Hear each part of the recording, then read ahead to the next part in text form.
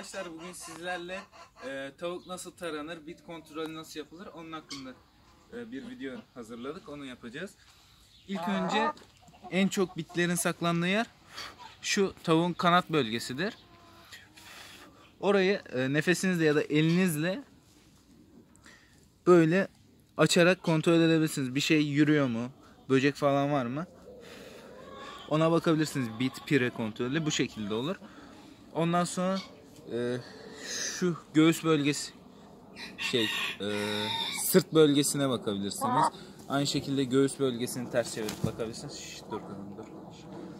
Ondan sonra elinize bir tane tarak alın bizim gibi. Tüylerin doğru yönde tarayın. Öteki yönde tararsanız tüylerini kırarsınız. E, daha kötü gözükür. Bu şekilde tarayarak düzgün gözükmesini sağlayabilirsiniz yarışmadan önce. Ee, yapan var mı bilmiyorum ama bizim aklımıza geldi. Önce de yapıyorduk. Şöyle. Böyle yaparsanız kırarsınız. Bu şekilde yapmayın. Mesela yıkamada da böyle ters yapmayacaksınız. Aynı. Bitiş yönüne doğru. Mesela arka zaten bu tüyler en yumuşak tüyleri. Şöyle.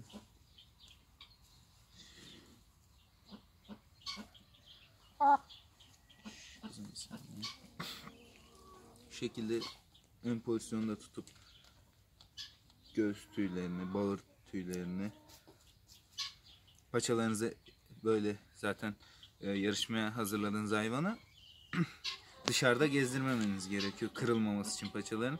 Bu hayvanın paçaları kırılmış. Zaten orantısız. Sağ paçası ha bakın bir de sol paçasına bakın.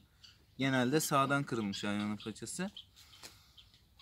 Buradan da kırılmış. Çoğunluk sağdan kırılmış.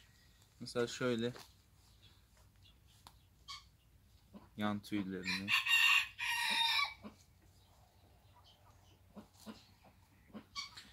Yine şöyle ters yaparsanız bozulur. Aynı bitiş yönüne doğru. Bu şekilde motlet desenini görebilirsiniz. Hilal şeklinde olacak böyle tüyüm bitiminde.